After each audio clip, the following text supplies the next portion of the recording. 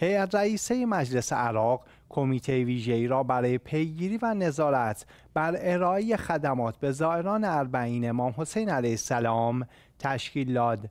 به گزارش همکارم در این زمینه توجه فرمایید.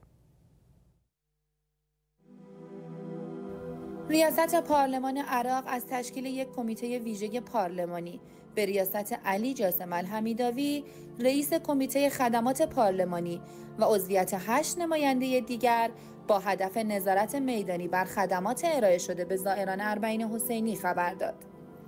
به گزارش خبرگزاری اخبار شیعه این کمیته که به منظور ارائه بهترین خدمات ممکن در ایام اربعین راه اندازی شده بر خدمات ارائه شده به زائران اربعین حسینی نظارت و کلیه امور مربوط به آن را پیگیری و ارزیابی خواهند کرد.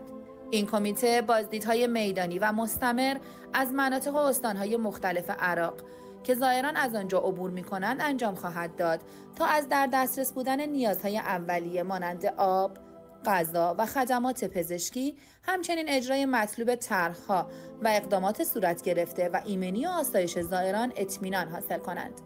علی الحمیداوی تاکید کرد که این کمیته برای پیگیری تمام جنبه های خدمات ارائه شده و اطمینان از آمادگی زیرساخت ها و واکنش سازمان های مربوط به هر شرایط اضطراری که ممکن است رخ دهد به صورت شبانه روزی فعالیت خواهد کرد. وی در ادامه افزود این کمیته با تمامی ارگانهای دولتی و محلی و موکبهای حسینی همکاری خواهد کرد تا بهترین خدمات ممکن به زائران ارائه شود. این اقدام ها در چارچوب تدارکات فشرده است که کشور عراق برای پذیرایی از میلیون ها زائر که برای بزرگداشت اربعین امام حسین علیه السلام به شهر مقدس کربلا مشرف می شوند انجام می شود. زیارت اربعین حسینی یکی از بزرگترین اجتماعات مذهبی در جهان محسوب می شود چرا که میلیون ها نفر از محبان اهل بیت از داخل و خارج عراق گرد هم می آیند تا در بزرگداشت این مناسبت شرکت کنند.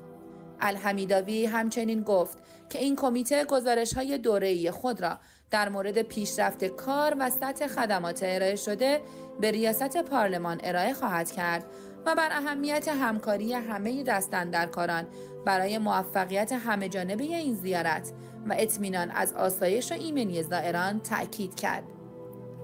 وی با قدردانی از تلاش های همه مجموعه های زیربط خواستار هماهنگی و همکاری بیشتر برای فراهم کردن محیطی امن و راحت برای زائران حسینی شد که این امن نشان دهنده روحیه همبستگی و فداکاری در خدمت امام حسین علیه السلام است.